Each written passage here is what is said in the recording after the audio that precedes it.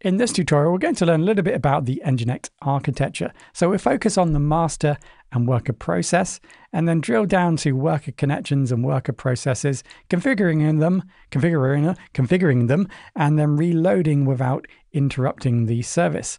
And then while we're doing that, we'll also introduce the Nginx core directories.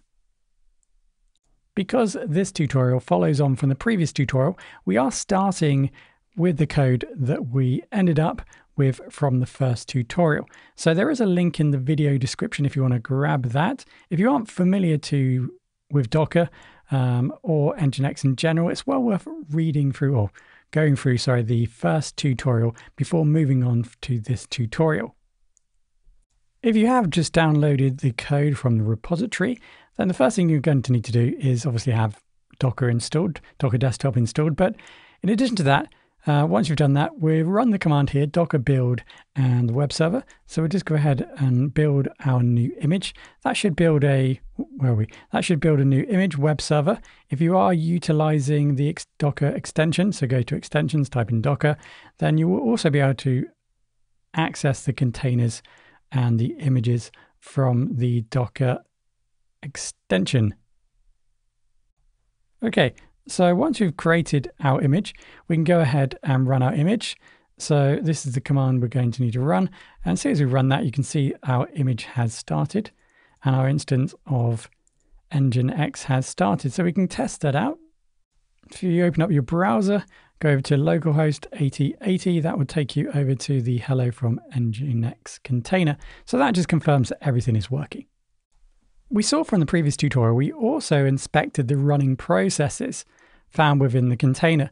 And we can do that by running the docker top command and then identifying the container that we want to inspect the services that are running on the container. So in this case, it's going to be web.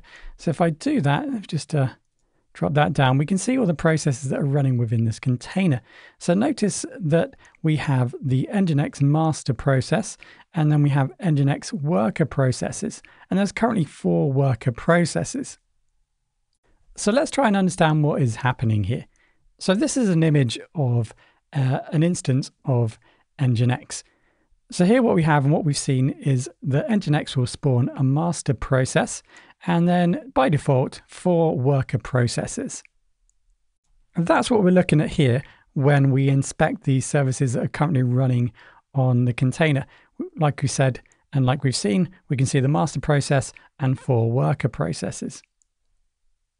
For a more refined ins inspection of the services, we can't do it by default because we don't have the resources installed on the container. So let's go ahead and we're going back into the files here in the Docker file.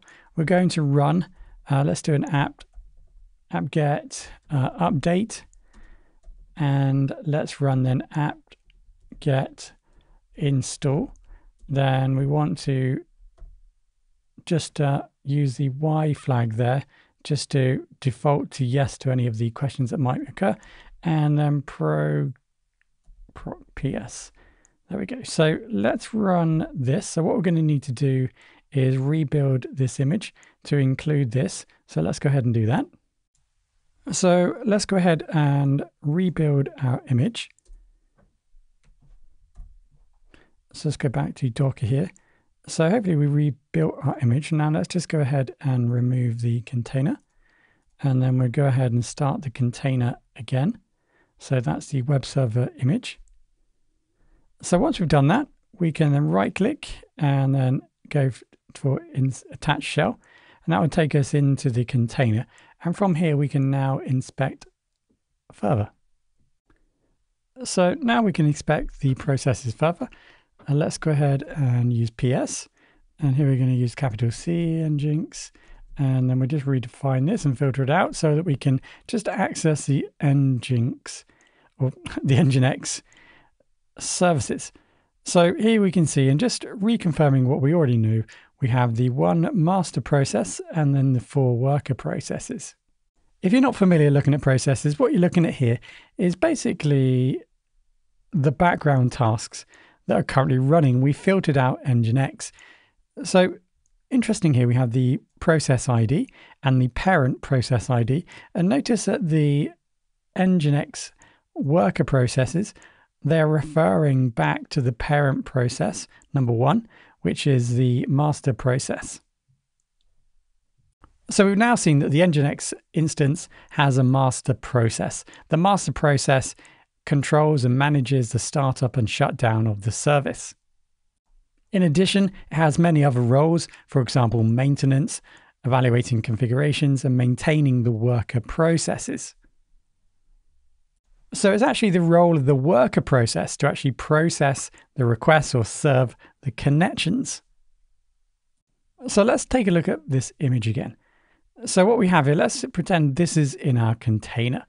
Right, so we have our requests or our connections coming in to the server, and it's the role of the operating system then to actually distribute those connections to the worker. Now, Nginx employs an event-based model and OS-dependent mechanisms to effectively and efficiently distribute requests among the worker processes. The, the worker processes are waiting on or wait on listening sockets and accept incoming connections. So now we know the worker processes are processing the connections. Let's talk a little bit about the worker connections. The worker connections describes the maximum number of simultaneous connections that each worker process can manage. So let's go into our server here now we have a, an instance or a container here of Nginx. So let's go into files and etc. And let's look for Nginx. And then inside of Nginx, we have some of the different configuration files. And one of them is the Nginx config file. So let's go ahead and just open that up. So inside of here, you can see a number of different settings that we configure that are relevant to what we were talking about. One of them is worker processes. And secondly, we have the work connections. And you can see by default, we have a maximum of 1024 connections. So this value here represents the total amount of connections that can be handled per second per worker. So we've seen in our current setup, the default setup, we have four workers. So these four workers can both manage per second 1024 connections. And this is something that we can change uh, depending on the nature of our traffic. It's also dependent upon the server side because obviously the more resource we have on our server, the higher amount of connections we can probably handle per second.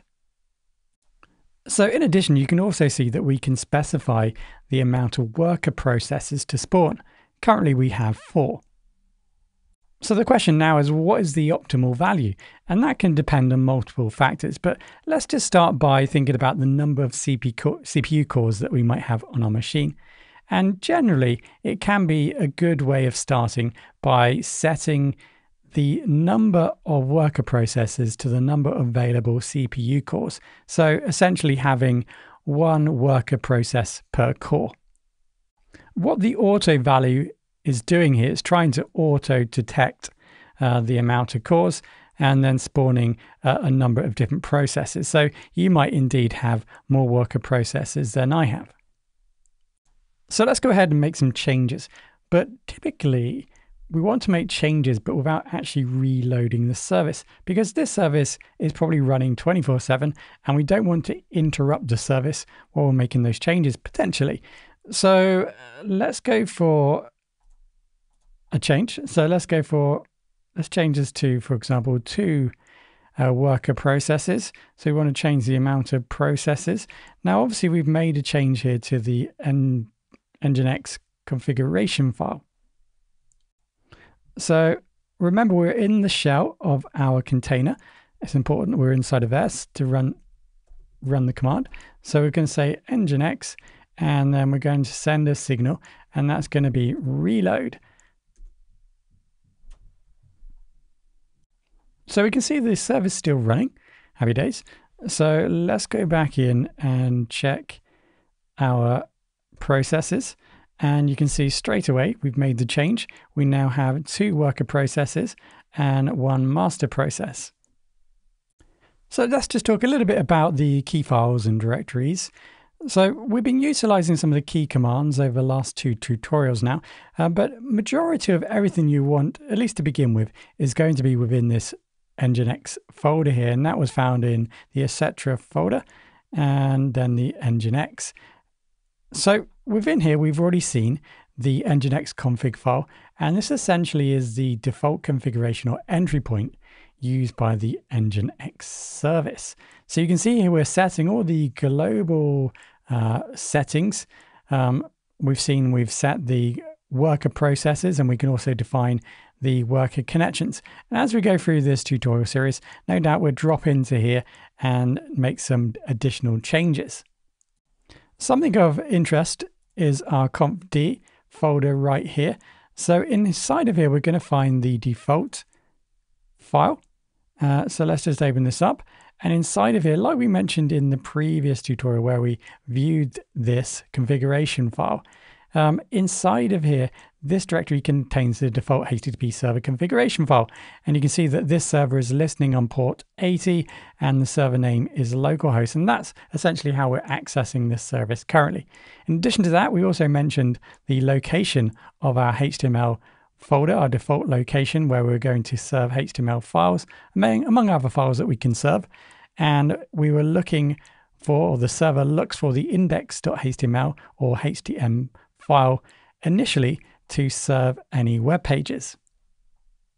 A completely separate area, if we come out of etc here, uh, if we go into the var folder right here and then travel into logs, inside logs we have the nginx log folder and inside of here we can then also access the log. So we have an error log and an access log by default. Again, that's something that we can focus on in another tutorial, but that's where we're going to find the directory um, for the, the, or the default log location for Nginx. So just to summarize what we've learned from this tutorial, here we're looking at the Nginx instance. So when we create a new instance of Nginx, we have a master process and worker processes. So the worker process are configurable in the terms of how many worker processes we can spawn and the amount of connections they can handle per second. Now remember, generally, a good way of setting up is to divide or to calculate how many CPU cores you have and to have one worker per core. And then really depending on your workload will depend on your setting in terms of how many concurrent connections or each worker can handle. And that can also depend on the amount of RAM, hard drive, and CPU that you have on your server. So in a general case, we have a request. Maybe that's a HTTP request. That's then handled by our operating system initially. And then, like I mentioned, Nginx employs an event based model and OS dependent mechanisms to effectively, efficiently distribute the requests to workers. The workers will then process those requests. The master process, the role of the master process is to manage the workers, the configuration in this Nginx setup. And then, of course, just remembering when we do want to reconfigure or want to manage our process, we send signals to the master process, which then processes those signals. Eventually, you may move to some sort of load balance configuration. And here you can see a general setup, a load balance that might be actually managed by another Nginx instance. And we can load balance that over multiple Nginx instance to further increase the provision um, as our traffic grows. So hopefully that's taken us a step further into the world of Nginx.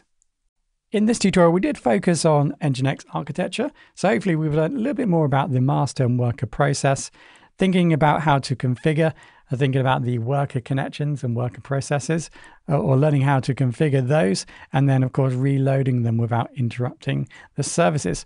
And in addition to that, a short introduction to the core directories.